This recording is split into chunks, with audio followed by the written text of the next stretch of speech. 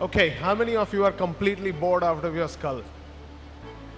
Come on, it's not a trick question. There we go. We got a brave soul there.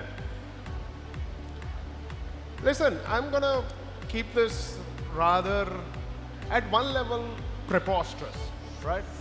I'm gonna challenge the status quo, convention, and or the usual way of thinking.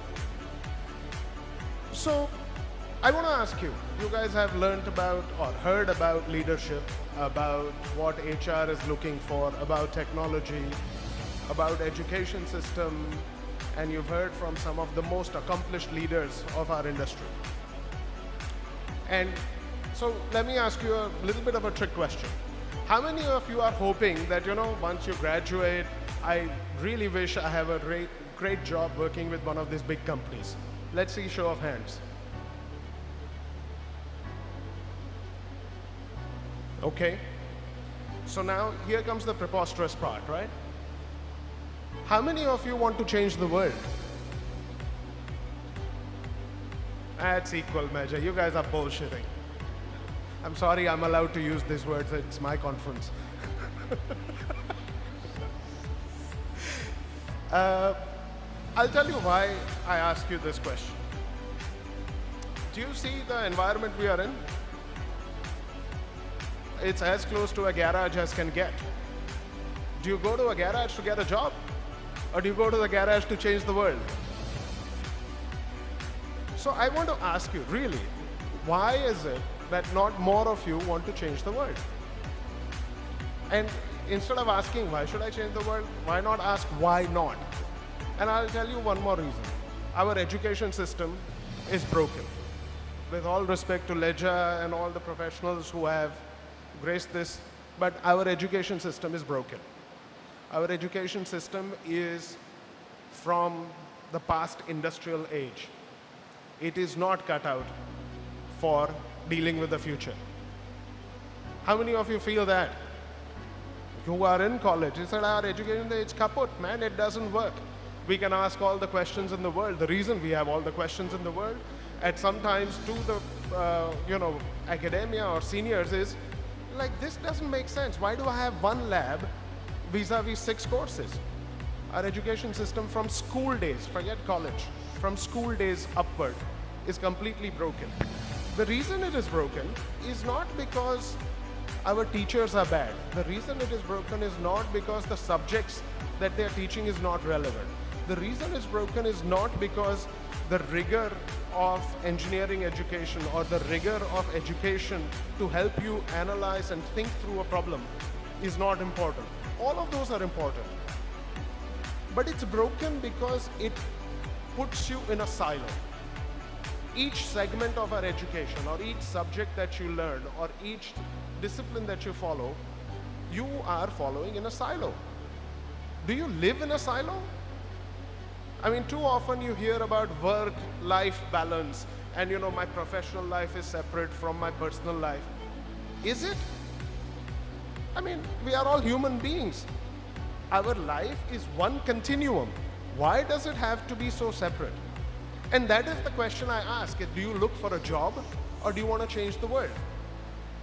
Our education system, our entire premise is based on can you get a job to lead a simple, productive, happy life? And there's nothing wrong with that, by all means. And I am being contrarian to be provocative. I am not necessarily saying this is the only way to think about it, but I'm deliberately being contrarian to be provocative. So here is two, three aspects. The reason these silos of education don't work is because they are from the industrial age, where continuously and increasingly the focus was always on specialization. Specialization and more specialization. We wanted to create people who could handle highly specialized tasks. Then we can put them in an assembly line and we can create mass productions and or new products. The digital revolution which is already here will not allow you to do so. It just will not allow you to be in a silo for a simple reason. even if you are working for a, let's say, chemical company, unless you understand data analytics, you will not be able to invent new chemistry. Unless you understand IoT, you will not be able to understand how to automate the process and remove the human error from it. Unless you deploy and understand machine learning, there is no chance that we will have the productivity increases that we've had through the industrial age.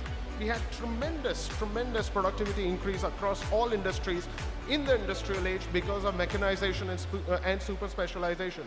But today, chemistry is no longer about chemistry chemistry and the innovation or engineering and innovation is going to happen at the margin.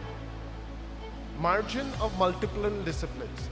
If you are a specialist or a super specialist only in a single discipline, yes, you will have a career by all means. For sure you will have a career because the world is growing and the needs across the globe are growing.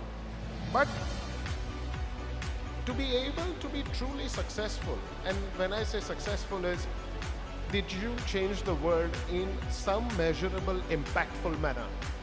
If you want to change the world, you will have to work on the margins. And that means you can't stay so-called focused. Don't be focused.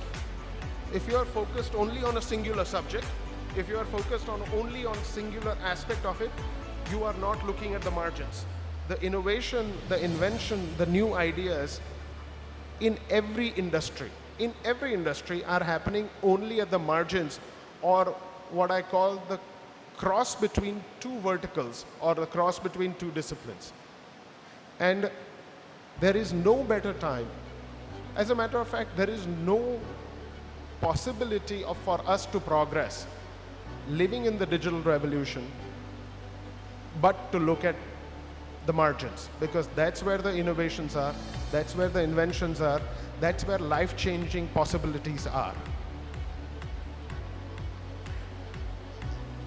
So how do you look at margins?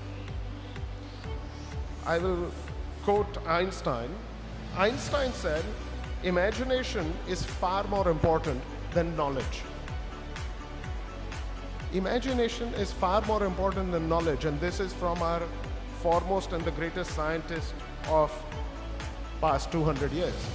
And you see, again, he was not constrained by a super specialization in a given area. He did thought experiments to discover relativity. If you uh, use your imagination, you will see life-changing possibilities at the crossroads or at the margins of multiple disciplines.